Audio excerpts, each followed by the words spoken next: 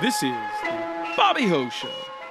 And in this episode, I'm curious about what would a crossover episode of Living Single and Friends look like? Friends is 25 this year, and as y'all know, it is going strong. Gen X loves it, millennials love it, even Gen Y loves it. It's one of the top shows on Netflix, and it'll be one of the main draws when it moves to HBO Max. Friends is still making millions and millions of dollars. But Friends, for those of you who didn't know, took its premise from the Queen Latifah led sitcom Living Single. Now, this is no internet conspiracy, these are facts.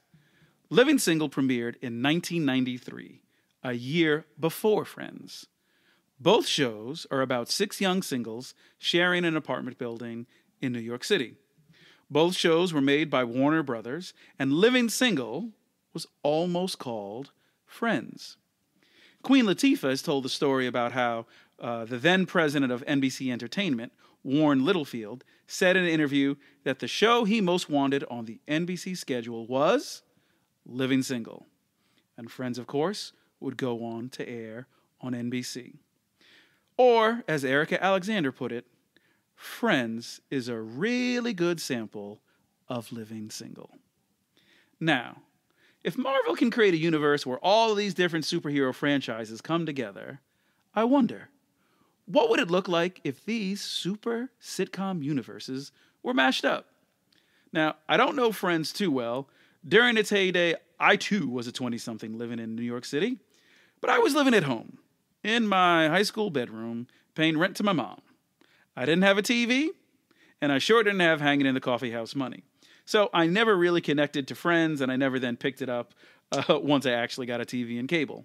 But I did watch Living Single when I was in college, so I'm going to set this episode in the Brooklyn of Living Single. Now, what in the Giuliani New York 90s would ever bring these two worlds together? Maybe Regine, who's a wedding planner, wants to hire Monica to cater a wedding, and so she asks to meet her. But Monica doesn't want to travel to Brooklyn alone, so she brings the whole squad with her. The Friends crew gets on the subway and gets lost and almost gives up to head back to Manhattan. But then Phoebe starts playing guitar in the Atlantic Avenue subway station. Synclaire walks by and starts to sing along. Then she finds out who they are, realizes that they're headed to her house, and takes them all home to meet Regine. Once there, the whole all the different uh, friend groups decide to break the ice over a game of taboo. Joey tries to kick it to Khadijah. Rachel loves Maxine's braids, tells her about how the time she went to Jamaica and got hers done too, reaches out her hand and almost loses it. Kyle and Ross bond over their love of knowing random stuff, and then Chandler is amazed that Overton actually knows how to fix stuff. Monica decides that she loves Brooklyn and wants to open up a restaurant there and ask Regine to be an investor.